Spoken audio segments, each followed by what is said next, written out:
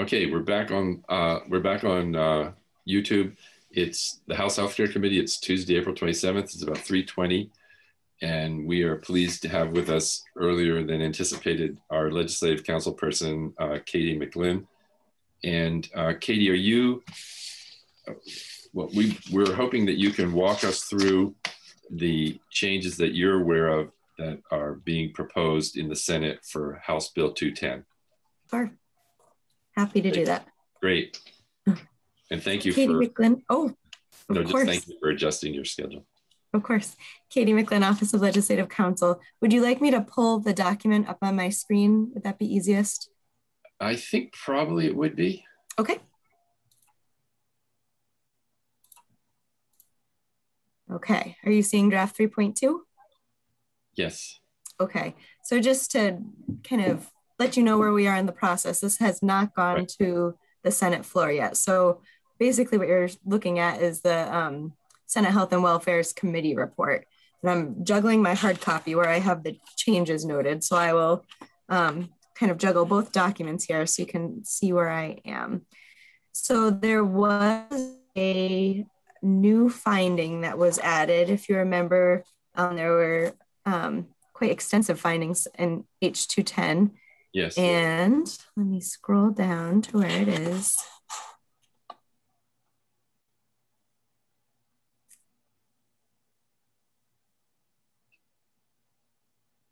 Um, there we go. So there was testimony on the Senate side that um, while there are extensive findings on um, all various populations of persons that this bill is um, aimed at um, working for, um, the indigenous populations, there are really no um, findings that are specific to indigenous populations. So the Senate tried to address that in two ways. First, there's a new subdivision 10, um, which is a broader finding. It's not specific to Vermont. Um, that according to the Indian Health Service, the American Indian and Native and Alaska Native people have long experienced lower health status when compared with other Americans, including a life expectancy among American Indian and Alaska Native people born today that is 5.5 years less than the US all races population. And then um, the finding 11 um, modifies the finding that this committee had added on um, eugenics to um, have some language from the House resolution that was discussed, and it pulled language right out of the resolution um, to be a little bit more specific to Vermonters of Native American Indian heritage. So it kind of combines what you had with the, the resolution that passed in the House. So this now reads as outlined in um, the resolution. Um, Vermont's state sanctioned eugenics policies targeted Vermonters of Native American Indian heritage, including French Indian and Abenaki families, and persons of mixed ethnicity and of French Canadian heritage, as well as uh, the poor and persons with disabilities, among others. These policies, including the state's 1931 sterilization law, are examples of past injustices in the healthcare system that continue to impact members of these communities in present day. So those are the two changes in finding section. And then we move on to section two, which was legislative intent and purpose. And there was a change here. Um, you'll see that the lead-in language to this um, list that we're going to look at is to this end, the General Assembly believes. Um, and so then there was a new subdivision seven added. Um, and just before we look at the language, the context was that um, I think the, the committee members were really struggling with what the right terminology to use in terms of definitions. Um, throughout the bill, the, the term non-white is used. Um, and that's very much a reflection of how data is collected in the health department. But there was also a conversation as to how that um, centers whiteness. And the committee found that they wanted to have some recognition of the fact that um, that we're still working on on what the right categories are and the right definitions are Um, and later on in the bill, at the end of the bill, there's a report back. And we kind of, in this subdivision seven, cross reference that report back. Um, but the concept is that this is still a work in progress and um, we're still looking for uh, feedback from the advisory commission that's created here and from the executive director of racial equity and how to address this issue both um, in drafting statute but also in, in collecting data. Um, so the language reads, definitions of racial categories and identities can be difficult to agree upon as they often create hierarchies and comparisons that center whiteness, prioritize one group or identity over another, or fail to recognize historical inequities and oppression. Definitions also shift over time as broader cultural norms change.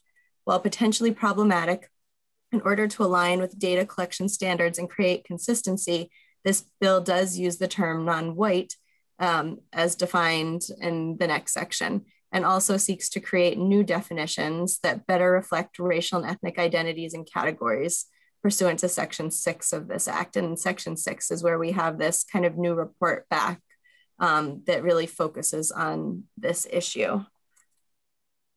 So that's it for changes in this section. Um, we move on to the new chapter that's being created. So if you remember, there was a chapter on health equity. And in this chapter, we have definitions, we create the advisory council, there's language on data collection. And at some point in the future, this is where the language um, for the Office of um, Health Equity will, will be located. Um, in terms of definitions, there was an addition to the definition of cultural competency.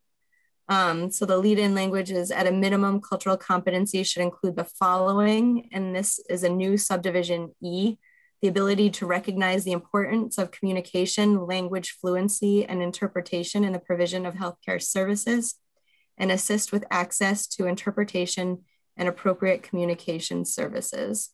And then in addition, there is a new definition added that is the definition of cultural humility, um, meaning the ability to maintain an interpersonal stance that is other oriented and open to the other in relation to aspects of cultural identity that are most important to the client or the patient. So that definition was added, and then we have a few, and then um, of course we renumbered all the definitions, and there are a few places where um, that new definition or the new term has been added. Um, so I'm scrolling along and the next section in this chapter is the Health Equity Advisory Commission. And this is where um, this committee and uh, the Senate really spent a lot of time. So um, you have the creation language that establishes the commission, you have the membership language, um, and then we have a new member, two new members. Excuse me, I think I'm gonna sneeze. I think I must have allergies. I've been sneezing all day. Um, so let's see. New members. On line 19, we have the Chief Prevention Officer designee. And then, and just um, if you're not familiar with who the Chief Prevention Officer is, um, this is a position that was created, I want to say in maybe 2019, 2018, and this is within the Agency of Administration. Um, and it was um, enacted as part of a, a, um, a law on um, substance misuse, and it created a substance misuse prevention council. But this position is is much um, bigger, or it's much broader than just substance misuse prevention. It it deals with all types of prevention across state government. Um, so we could look at that language if the committee is interested. And then there's a new subdivision on line 20. So another new member, and it's a member appointed by the Vermont De Developmental Disabilities Council. And we have some renumbering. And let's see. So in this subdivision two, this is where we have staggered terms so that not all the members begin at once. And because we have two new members, we had to update um, pretty much update the math of um, in this section to make sure that we we ended up with the right number. So um, we have 29 members who are not at large. So now we have, um, let's see, we have 10 members appointed for one year, 10 members appointed for two years, and nine members appointed for three years um, initially to, to stagger the terms. Um, okay, then in subsection C, we have the powers and duties of the advisory um, commission. And there's a change in subdivision one. Um, and that change is giving a date for when the um, Office of Health Equity is to be established. The language that came over from the House um, said that the office would be established. Um, I can't remember the exact language, but it, it had to do with um, when there when it was fiscally feasible mm-hmm. to do so. Um, and so the um, Senate put in a date certain, not later than January 1, 2023, that that office would be created. Uh, the next change was in subdivision five. This language um, just adds and General Assembly. So um, the commission is tasked with um, advising the department, meaning the Department of Health, on any funding decisions relating to eliminating health disparities and promoting health equity, including distribution of federal money in relation to COVID. So now it's advising the department and the General Assembly on funding decisions. Um, subdivision seven, we've added in this new term that we added a definition for cultural humility. So advising General Assembly on efforts to improve cultural competency, cultural humility, and anti-racism um, in the healthcare system through training and continuing education requirements. And I believe those are the only changes for this section. Let me confirm that. Yes. So that those were the changes for this section. Um, there is a data section and the Senate did not make any changes to this section. The next section of the bill had to do with um, the the executive director of racial equity. This section has not changed since it left the House. This was just adding, um, you know, overseeing the advisory commission to the tasks of the executive director. So that has not changed. And then we still have a report on continuing education. The only difference is again, that new term has been added when we're looking at um, continuing education recommendations for improving cultural competency cultural humility and racism in Vermont's healthcare system through initial training, continuing education, and investments. And then we have the Section 6 report. When it left the House, it really only had this subdivision 1, um, meaning that as part of the first annual report submitted by the advisory committee, um, the commission was to add budget recommendations for the continuation of its work in fiscal year 2023 if necessary. Um, and the Senate added this language and for funding the Office of the Health Equity. This is sort of part and parcel with the concept of trying to have the Office of Health Equity um, off the ground in 2023. So looking for um, kind of a funding structure and budget recommendations. And then subdivisions two and three are new. Two is recommendations um, appropriate um, sorry, recommendations on appropriate and inclusive terms to replace the term non-white in the chapter we just looked at. Um, and then the second part of that is disaggregating data categories and tabulations beyond non-white um, in accordance um, with the data collection language um, earlier in the bill. So um, two, two things. So this subdivision 2A this is um, supposed to be kind of um, a companion to the language we looked at uh, in section two, subdivision seven, that talked about the challenge of coming up with definitions. And um, so this is where we're asking for, for more information and for recommendations on how to use um, more appropriate terminology. And then in subdivision 2B, this language about disaggregating data categories and tabulations beyond non-white um, is referencing the data collection where we're already directing the advisory committee. Where is it? Right here. The advisory committee and um, the executive director of racial equity to um, weigh in on this topic. So that's right here. Um, so we're saying um, so I've scrolled back a little bit to um, the chapter um, 18 VSA section chapter six. Um, but right here we have data related to race and ethnicity shall use separate collection categories and tabulations disaggregated beyond non-white and white in accordance with recommendations made by the executive director of race, racial equity and in consultation with the advisory commission. So we're just cross-referencing back to the fact that we're already asking for this. And in section six, um, this language pretty much just asks for a date certain by which we're getting that information. And that is part of the first annual report from the advisory commission. And then in subdivision three, um, recommendations for the most effective use of funding received by the state through ARPA in a manner that promotes um, health and achieves health equity by eliminating avoidable and unjust disparities in health on the basis of race, ethnicity, disability, or LGBTQ status. So that is also to be part of the first report. And then we have the effective date section. And that that's it for changes. Okay. Thank you, Katie. Um, before we uh, open up for questions, uh, I want to just two things. One is, uh, first of all, thank you for walking us through this uh, in anticipation of your other work that you're in the midst of as well. Um, and would you, is it, at what point would you be able to give us a highlighted uh, copy of the well the changes. You know, you know what I mean.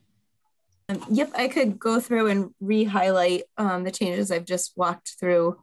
Um, uh, depends if I have to go back to the other committee or not. I could get it to you quickly if I'm oh, not needed. No, I, just, no, I wasn't otherwise... thinking about in that short shorter term, but I oh, okay. the next day I can or have so. it to you for tomorrow. Yeah, that'd be great. That's okay. all. That's all I was asking. Is that, that because it makes it so much easier for us to be able to put attention on where the where the changes are. Um, so let me let me suggest that first we uh, focus questions on talk, checking in with Katie about understanding what the changes are, as opposed to broader committee discussion, which we will come back to. Uh, if we don't have time now, we'll we'll come back to at another point. So, uh, Brian, Representative Cina. Yes, thank you. Um, and my questions are really just clarification. Um, it's not meant to. Um, I'll save my editorialization for another time. But um, just to clarify that, it looks like um, a specific start date has been proposed at this point, as opposed to it saying when fiscally practicable to do so. And I know there was some concerns by community members about the previous language and about there not being a clear start date. So it's correct that this is basically saying now that the plan is by 20 January 1st, 2023 for the office to be open. Is that correct?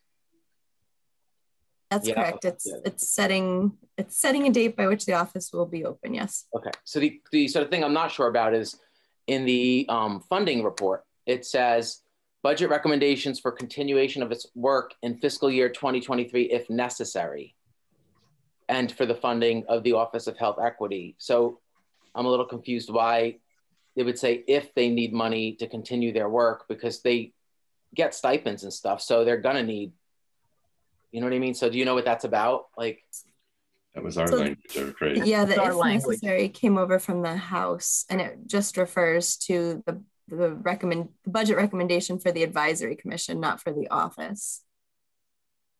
Okay, I guess looking back, I, and I'm not going to nitpick about it now. I question why we would we would say if they need money when we know right. they need money. So moving on, um, yeah, moving on. Um, because we can get into that in discussion. Um, there was one other, I flagged a few things. Oh yeah, the only other thing I wanted to confirm is that my math is right, that there's 10 members of the commission who are sort of government appointed um, seats, like they're appointed, they're either a commissioner or an agency or, or employee of the government, but it looks like 19 are appointed by community gr groups or other organizations or tribes.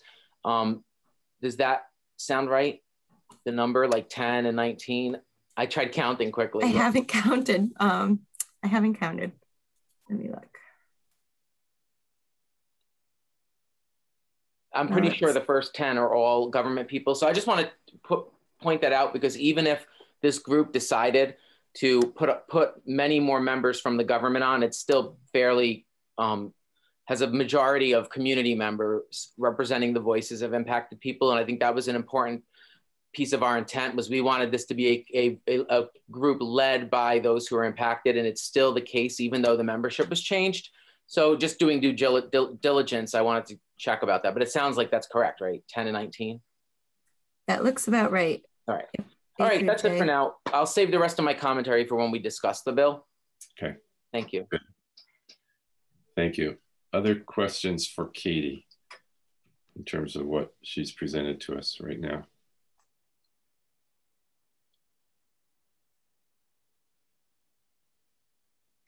Okay.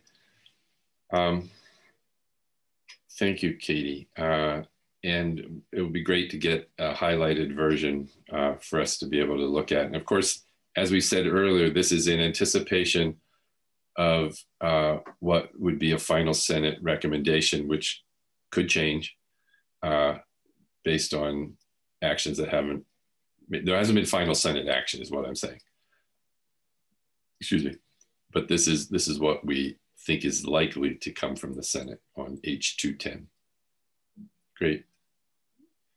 So I'm going to suggest that we not try to have committee discussion on this until we have final uh, final language in front of us and and give people a chance to have looked it over more and then we'll and then then we'll be in the position to make a decision really how to respond to a proposal from the Senate, a proposal of amendment. Representative Golden? I'm just curious to know when members of the community um, give us feedback on their response to the Senate version? Well, that, that's a good question and not one which for which I think there's a clear answer. Uh, I think, so uh, let's think about that because there are uh, occasions when actually it's more rare than usual that uh, more witnesses are heard from, but but that's not out of the question let's let's think together about that. Yeah, I'm not necessarily suggesting more. I mean, I don't know the process, but um, I've heard you know in places that there's some disappointment about how it came out of the house, and just wondering how we think about that. Well, let's talk about let's talk and think about what what might make sense. I'm not. I'm not. I don't. I don't want to. I don't want to make a decision about that on the spot right now. Is what I'm saying. Other questions? Okay. Thank you again. Thank you, Katie, and thank you very much for making yourself available uh, prior to uh, the four o'clock time when, and we'll we'll we'll relieve you of our committee, and you can determine whether where where where you go next. Okay, very good. Nice to see everyone. I know you're in demand. Okay, thank you, Katie. Very much appreciate it.